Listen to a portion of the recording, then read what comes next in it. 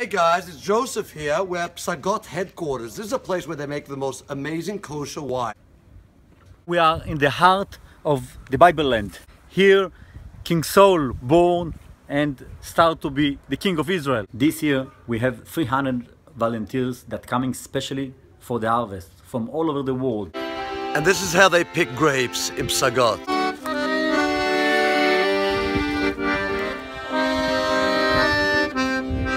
Bring volunteers to Israel every year, multiple times a year, because we feel like there's not enough people in the world that are helping and proactively supporting Israel. Hi, I'm Matilda. I'm from Stockholm, Sweden. I'm from France. My name is uh, Nick Nemunitis from Alabama. This is a land for the Jewish people. It's is Judea and Samaria. It's been their land for over 3,000 years. My name's uh, Riley Piercy and I'm from Illinois. See, they put me to work over here. That's enough for me.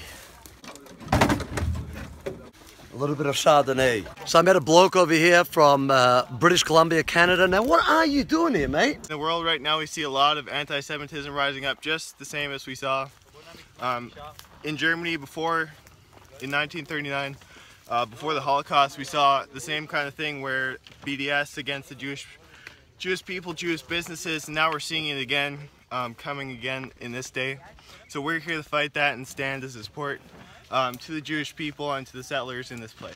Those have got to be the most unbelievable people out there. Christians supporting Israel. We Jews must support Israel.